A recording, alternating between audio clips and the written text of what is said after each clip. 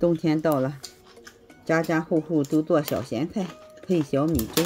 今天我们就做的羊角辣椒小咸菜。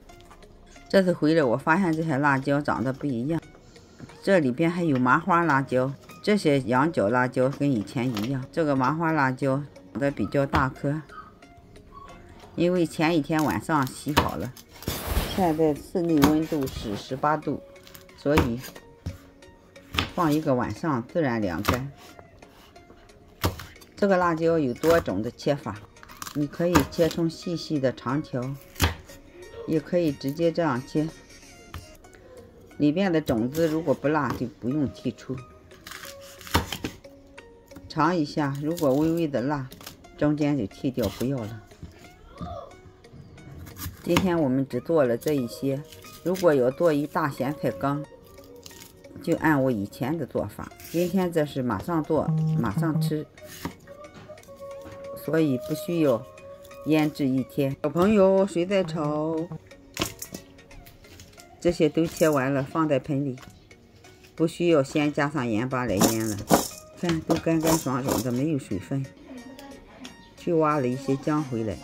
做这样的咸菜最好是比较嫩的姜，老姜不适合。不喜欢吃姜的可以不加。加上一头大蒜。我是不瘦。还有他的。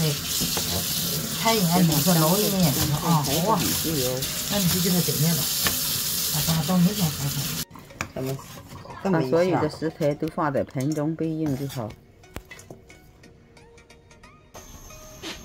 锅底加热，加上花生油，这里用中小火，加上花椒和八角，再扒上几粒花生，这样红色的花生特别特别的香。不要烧糊了，就这样就可以了。直接泼在上面，激发起香味。锅还是热的，加上酱油，加热一下。这个作用就是防止我们辣椒咸菜长白毛。一般家里人多的都去做一大咸菜缸，加一点盐巴，就是这么简单。这种做法有很多种的食材都可以做。我以前影片有教大家做过萝卜的、黄瓜的，这样腌制两三个小时，马上就可以吃。一般冬天我们晚上都会喝个小米粥，最喜欢的就这种凉拌小咸菜。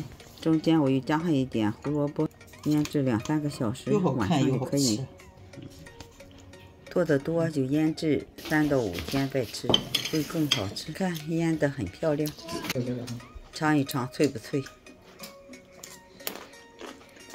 非常的脆，配一碗小米粥是最健康的搭档。